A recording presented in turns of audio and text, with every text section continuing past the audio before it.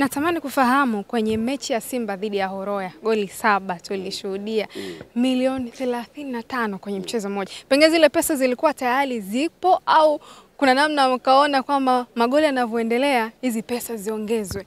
Nataka nirudie, pesa zile zina utaratibu wake. Kwa hiyo bala hata wakifunga kumi zitakuwepo, wala watu pale pale. zilikuwa pale hazikuwa, zilikuwa wapi, hilo haliwahusu Yanga na Simba, ila pesa mzigo unakuwepo. Wao kazi yao ni kutia mpira kwenye nyavu kama Mheshimiwa Rais alivyosema. Wakitia mpira kwenye nyavu, mimi niko pale na begi langu, bwana, mzigo wenu huu hapa. Neno lako sasa mara baada ya Simba na Yanga kutinga robo fainali. Nawapongeza sana Yanga na Simba. Mheshimiwa Rais anawapongeza sana Yanga na Simba, amefurahi sana kwa matokeo aliyoyapata. Mheshimiwa Rais ametimiza miaka miwili na Yanga na Simba zote zimeingia e, kwenye robo fainali ya michuano hii mikubwa ya CAF, yani kwa maana ya shirikisho na ligi ya mabingwa. Imekuwa ni faraja sana. Kwa hiyo miaka miwili ya Mheshimiwa Dkt. Samia Suluhu Hassan imekwenda na baraka ya timu mbili ambazo zimeingia robo fainali ya CAF, na Mheshimiwa Rais anawatakia kila la heri kwenye michuano inayoendelea, wakafanya vizuri kwenye robo fainali, waende eh, nusu fainali na ikiwezekana kama baadhi ya ahadi sitaki kusema hapa tumezipata kwamba watakuwa mabingwa. Wamesema Yanga, sijui, sina uhakika Simba nao kama wamesema, lakini Yanga wameshasema kwamba watakuwa mimi nimemsikia rais wa Yanga wa Yanga Hersi Saidi anasema, engineer Hersi Saidi anasema wataleta kombe la shirikisho. Kwa tunataka na Simba nao walete kombe la, la, la ligi ya mabingwa eh. Eh, watatuletea na uwezo upo, Si umeona Simba, si umeona lile pila biriani linavyopigwa eh. Kwa hiyo Yanga wanapiga, Simba wanapiga, wake, wake, wakienda robo fainali wakapiga vizuri, waende nusu fainali, waende wakacheze fainali, tuchukue tuchukue hivyo vikombe, tutengeneze heshima vizuri. Hizi ahadi ni za mwendelezo, sio tu kwenye hatua hii ya makundi sasa na Taifa Stars pia kwenye hatua hii ya makundi. Taifa Stars imeahidiwa ita, goli lolote litakalofungwa eh, katika hatua hii ya kufuzu kwenda AFCON ni milioni kumi. Kwa hiyo waende mpaka kwenye makundi, waende wa- mpaka watakavyofuzu ni 10 milioni. Sawa, kila mechi watakaocheza 10 milioni mpaka mpaka mpaka mpaka wafuzu. Na, na, na Yanga na Simba hivyo hivyo. Kwenye hii michuano yote hii ya, ya, ya, ya ligi ya mabingwa na shirikisho michuano yote wakiishia robo fainali, wakiishia nusu fainali, wakifika fainali, kila goli litakalofungwa milioni tano. Yupi mchezaji wako bora kwenye mashindano ya ligi ya mabingwa shirikisho Simba na Yanga? Ah, ah, sasa huu, huu mtihani mgumu kwa sababu mimi napenda wachezaji wengi eh, sasa sijui nimtaje nani nimwache nani. Yote ambaye ukiwa wachezaji- ulivyokuwa pale jukwaani ukiangalia unasema yule amecheza vizuri. Kwa kweli wachezaji wote wanacheza vizuri Ni, niwe, niwe mkweli na kitu kimoja kizuri Yanga na, Yanga na Simba wana, wana walimu wazuri eh, ukiona zile sabu zinavyofanyika kwa sisi tunaocheza soka, ukiangalia hivyo unaona kweli timu hizi zina vikosi vipana na wachezaji. Sasa sitaki niseme nani, mimi wale wachezaji wote kwanza ni vijana wangu na wote wanacheza vizuri, na kwa kweli huwezi ukawa mchezaji mbovu ukawa Yanga na Simba, haiwezekani. Kwa, kwa, kwa, kwa sisi hapa Tanzania haiwezekani. Mm. Niliwahi kuona mahala kwamba unamkubali sana Mohamed Hussein. Mohamed Hussein kwanza ni rafiki yangu e, na mimi kwa Mohamed Hussein kumzungumzia, kinachonifurahisha kwa Mohamed Hussein ni mchezaji ambaye ametunza ubora wake muda wote. Mimi kwangu hilo naona ni heshima kubwa. Hamna kitu kinakatisha tamaa, unakuwa na mchezaji mzuri wa misimu miwili. Mohamed Hussein yuko Simba pale mwaka wangapi huu? na namba yake watu wanatoka nje huko, wanatoka wapi, lakini mtu wa kuchukua namba ya Mohamed Hussein nani?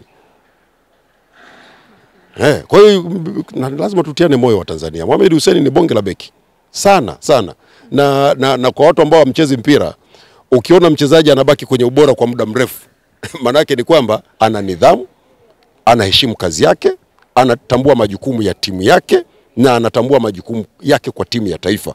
Maanake huyu ni mtu mzalendo, ni mtu makini, ni mtu mwenye heshima. Mimi Mohamed Hussein kabisa.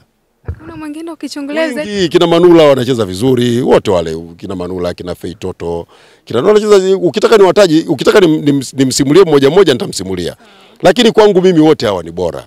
Eh, kina Elasto Nyoni, shemeji yangu yule Elasto Nyoni, bonge la beki. Wewe ushawahi kuona Elasto Nyoni anakosa penati? Si, nadhani sijui kama mimi sikumbuki sana, na akipiga penati kipa malikiti ya bububu, mpira malikiti ya dole huyo ndio Erasto Nyoni. Kwa hiyo mimi nafurahia wachezaji wetu wanavyo wanavyofanya vizuri na niwapongeze sana, wasiache kufanya hivyo eh, kwa sababu uchezaji wao mzuri ndio sifa ya nchi yetu mm. Tumalize na hiyo Jason Msigwa. Katika nchi hiyo wanasema kuna timu mbili, kama utakuwa Simba basi utakuwa Yanga. Nikajaribu kudodosa dodosa, nikasikia kwamba Jerison Msigwa ni Simba. Ah, mimi majimaji mimi majimaji yani mimi nikusimulia ishu ya majimaji mimi majimaji kabisa kabisa. Mi yanga na simba zote nazipenda. Yanga simba zote nazipenda. Mimi i don't mind. Hizi ni timu zetu. Eh, nili, niliondoka kwenye siasa. Mwenyezi mungu akanisaidia sana. Nimetoka sana kwenye siasa ya yanga na simba eh, lakini mimi ukija nyumbani kwangu na jezi za simba na jezi za yanga na jezi za azam na, yani mimi kila jezi mimi timu ikicheza vizuri nafurahi lakini kwa kweli ikija majimaji ah, hapo hapo ukikaa mbele yangu naweza nikakupiga teke kwa sababu yani goli linavyofunga lazima na mimi nirushe mguu maji maji ndio timu yangu ndio timu unajua eh, hayati Dr. Lawrence Mtaza Magama eh, aliwahi kuwa mkuu wa mkoa wa Ruvuma eh, ndiye aliye akiwa, akiwa mkuu wa mkoa pale ndo walijenga uwanja wa Majimaji, ndo walianzisha timu ya Majimaji, na ile timu ilianzishwa sambamba na agizo moja linaitwa agizo la Mlale. Agizo la Mlale ni agizo lililolenga katika uzalishaji wa chakula. Ruvuma ilikuwa ina, inazalisha chakula cha kulisha nchi, mahindi eh, kutoka eneo linaitwa Mlale na maeneo mengine. Kwa agizo liliitwa agizo la Mlale, lakini ma, mahindi yanazalishwa, chakula kinazalishwa karibu eh, mkoa mzima wa Ruvuma. Sasa Dr. Lawrence Mtaza Magama alichokifanya, ile timu ilikuwa inachangiwa na wananchi wa Ruvuma, wakulima wa mahindi, wa kahawa, wa korosho, wa tumbaku. Sawa.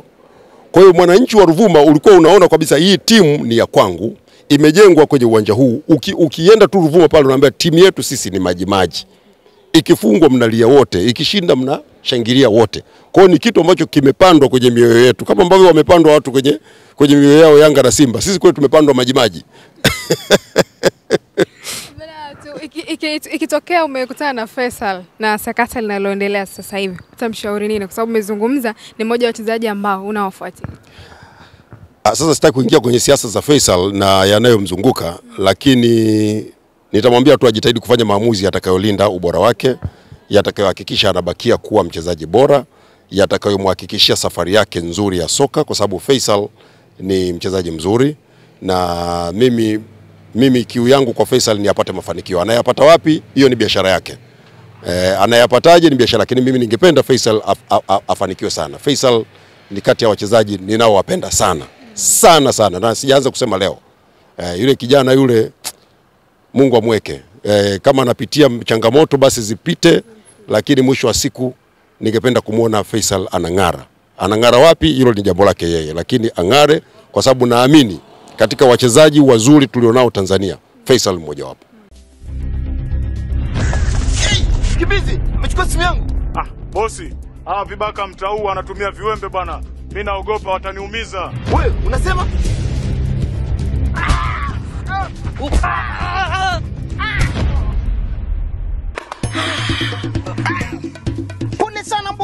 chukua simu yako. Asante sana.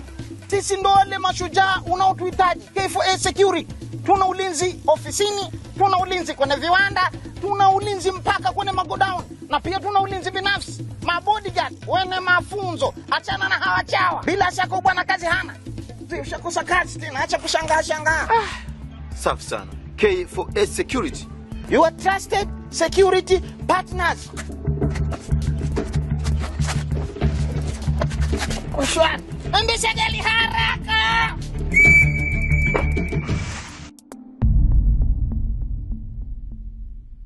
Unajiuliza namna gani utapata taarifa za michezo zenye uhakika kwa timu zipendazo? Ni rahisi sana. Mpenja TV ipo kwa ajili ya kukupa matukio yote makubwa kutoka kwenye maeneo mbalimbali, mashabiki, wachezaji, viongozi wa michezo. Hapa ndio kwao. Sasa tembelea chaneli yetu ya YouTube kupitia simu yako au laptop, andika Mpenja TV ukutana na taarifa kibao za uhakika, kisha bofya subscribe uwe mwanafamilia na bofya alama ya kengele upate taarifa kila inapoingia, na pia fuatilia updates za taarifa zetu kupitia Instagram kwa kuandika Mpenja TV underscore. Mpenja TV tunazungumza michezo.